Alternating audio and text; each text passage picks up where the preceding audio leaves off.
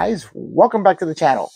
I'm back. We got another year that we're kicking off in high style on the channel by continuing the blue build, which I'm right in the middle of, which would have been the last build of last year, but I didn't get a chance to finish it in time. So it's going to be the first build of the new year. So happy new year, guys. Glad you're joining me again and hoping that you guys are going to love what I got coming up. First thing I'm going to do is finish that blue build. Then we're going to jump into all sorts of stuff for my Fiero buddies out there. See, I'm wearing the hat. We're going to start tearing Rat down and we're going to do a complete rebuild of that car. Now, that's going to take uh, probably a couple years to finish, but uh, we're going to get that started this year. So you guys are going to want to stick around for that. And for my scale modeling buddies, we got a whole bunch of stuff coming up. If you saw some of my videos at the end of the last year, you know there's all sorts of really cool stuff I'm not going to be doing as much cars as uh, as many cars as I did last year because I want to expand into a couple of other different uh, genres. Uh, I want to go back into my uh, sci-fi stuff and also my anime stuff. But uh, there's still going to be a lot of cars sprinkled in between. So uh, I'm hoping that we can get some stuff done. And there's one build that I want to try and fit in before Mosquito Con uh, in April if I can get it done in time. So uh, I hope you guys are going to stick with me and watch. I love having you guys here. You're the reason that this channel has gone as far as it has, and uh, I'm very, very happy about that. So now, the purpose of our little video here today, instead of me just rambling on, is that I picked up some cool stuff that I want to show you guys, including one new add to the stash, which I think you guys are going to like. So, uh, let's uh, flip this camera around and uh, take a look and see what we got. All right, guys, the first thing we're going to start off with are some new tools for the channel. I just decided to pay a visit to uh, my local um, Harbor Freight store and picked up a bit of these micro carbide bit sets. As we all know, these tiny little drill bits are invaluable to our hobby all sorts of different sizes here. This is going to be great and allow me to do some precision drilling, precision drilling, and uh, really get some really cool stuff done with this. So I'm gonna love using this. It's got the 20 pieces in here, all different bit sizes. Not really sure what the sizes are, but uh, it's a lot of them. So this is gonna be cool addition to the uh, addition to the tools of the uh, of the channel. The next thing we picked up is some rotary saw blade kits. This is going to be really cool for one particular project, which I'm hoping to get to or at least get started this year. And this is going to be very useful for it. That's coming on the, on the channel where it'll be a surprise. So these rotary saw blades should come in very, very handy. You can attach them to any rotary tool, your Dremel, or any other sort of rotary tool you got should work really cool. Now, one thing I want to show you guys, I just got in from Model Car Garage some new photo etch stuff. Just got in, so let's take a look at it because I was running low on some of their stuff and I decided just to restock up so let's see what we got here. And it came in very, very quickly too. Much faster than even I expected. And here we go. From all of us here at the Model Car Garage, thank you for your business. We know you have choices where you can buy your detail accessories. And we are pleased you have chosen us here at Model Car Garage. Very cool. Nice little letter there. And let's uh, see if we can open this up.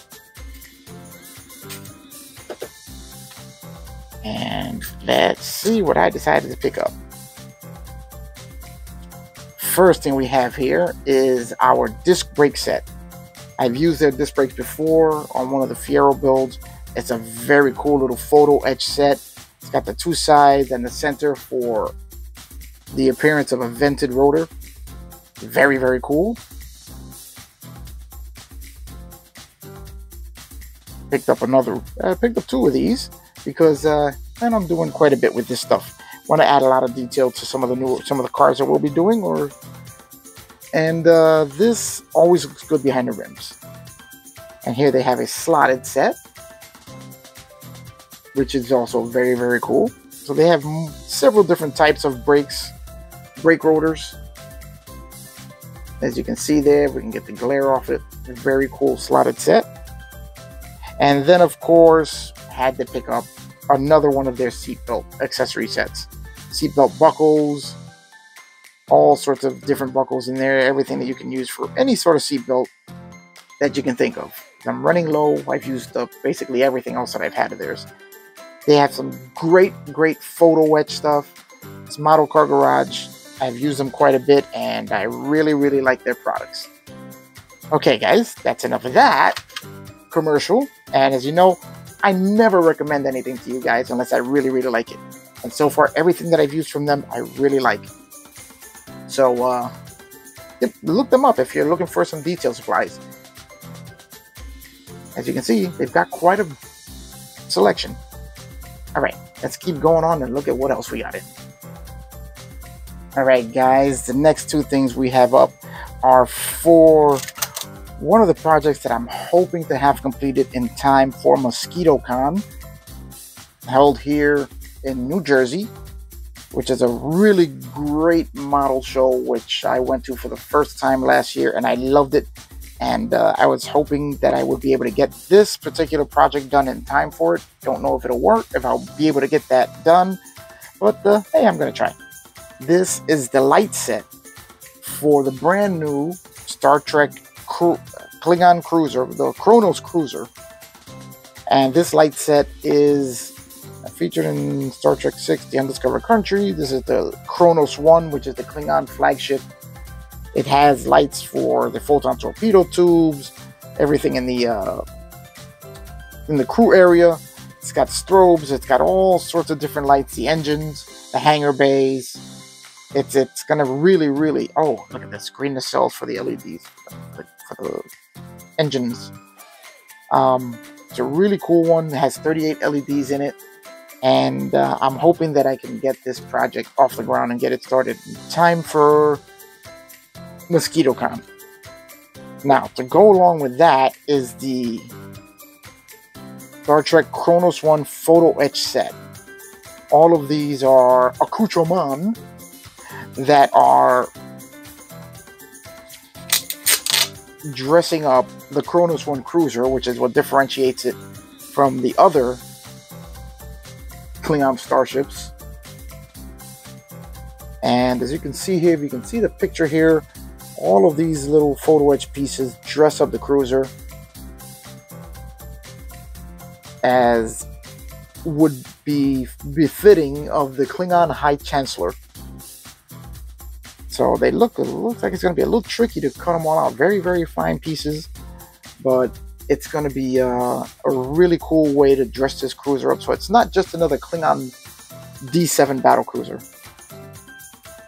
Uh, you guys can see all of that, all of the areas where it's going to dress up the ship. So I'm really, really hoping that I can get this done in time for MosquitoCon. Okay, now the next thing we got, if you guys have watched my uh, previous video, I picked up one of these tiny little Glencoe model kits uh, previously, and it's really, really interesting, tiny little kits. And I decided I'm going to try one more. And I saw this one, which has the Buick LeSabre concept car and a 160th scale classic racer. I've never built anything 160th scale, so this is going to be really interesting to see what is in here. As the Sabre is a 172nd. You know what? Why don't we just look? We'll see what is actually in here. Because 160th scale is small, for lack of a better word and that there is really no like it's it's small. What, what, you know, what, what do you want me to call it? So here we have our instruction booklet, which is pretty uh, simple, one page. On one side, it's got the Indy Racer. On the other side, it's got the concept car. These are very simple little kits. And here is the 172nd scale car. which is tiny. Never built a car smaller than 143rd scale. And this is the 160th scale racer. Now, these are all from Glencoe Models, which is a model company that was around way back, I think, in the 60s when I looked them up last. And these little kits are remnants of the past. So it's going to be really fun to build these kits as we'll be revisiting modeling as it was way back when. So it's kind of neat. We'll take a closer look at that on a later episode. But let's keep this moving along so I can show you guys what else I just recently picked up. This is going to be really cool. Hold on for this. Okay, guys. Feast your eyes on this thing. 1987 Pontiac Firebird GTA 116 scale. I've been looking at this kit ever since it was announced, and uh, it's been staring back at me. So finally, I said, you know what? We've been staring at each other long enough. Let's just let's just go home together. I know that sounds a little weird, but it kind of you know sort of went like that. Anyway, uh, you know that I can't build a Camaro on the channel without following it up with a Pontiac of some kind because we're Pontiac guys. Well, I'm a Pontiac guy, and we can't let Chevy have the last word. So I decided that since I'm doing the Camaro, I've got to follow it up with an F body, Pontiac style. So I picked this up and take a look at that. This is going to be a really, really fun build. I do also have these. This is a third gen Firebird Trans Am. Or is this a GTA? No, this is a GTA, not a Trans Am. Basically the same car, just different letters. Uh, and um, I do have, this is known as a third gen Firebird, for those of you who are not familiar with the with the uh, F bodies. I also have a second gen in the 116 scale, so I'm hoping that uh, I'll be able to squeeze in two 116 scale large builds together, and we may as well make them both Pontiacs because really, what's better than Pontiac? Nothing. So there you go, guys. This is going to be fun. It's going to be on the channel It's to be all about the Pontiacs. So, um, I think that's going to be it, guys. Let's swing this camera around one more time. That's it, guys. Those are the newest additions to the channel, and um, I can't wait to get started on this thing. I mean, look at how look at how big this is. Look at it. Look at this next to me. This is huge. This is huge. It's gonna be great. It's gonna be fun. I'm gonna love this. This was my first, well, I had an 83 Trans Am, which was my first car, which uh, I love to this day. It was stolen, ended badly. So anyway, uh, I got over that trauma, and now I'm ready for another one. That is going to be the start of this year, which is starting right now. Actually, whenever you see this is when it's going to start. Um, and uh, we're going to jump right into it, getting through the blue build. At some point, we're going to get to this giant Pontiac and uh, other stuff. So I hope you guys are going to join me, follow along, call your friends, invite your neighbors, get them all to subscribe because we want to build this channel up. I'm hoping to be able to hit 2,000 subscribers this year. Don't know if that's going to happen, but I really, really would love to see that happen. And if it does, there's going to be a giveaway. Okay. Not really sure how to do that or how that works, but I'm gonna do it. Uh, somebody's gonna get something really cool if uh, if we can get that to 2,000 this year.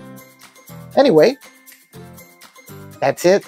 I'm gonna go now, and I will see you guys on the next one, and the one after that, and the one after. Well, you know, if you guys keep coming back, we'll, we'll you know, we'll, we'll just keep doing this. All right, see ya.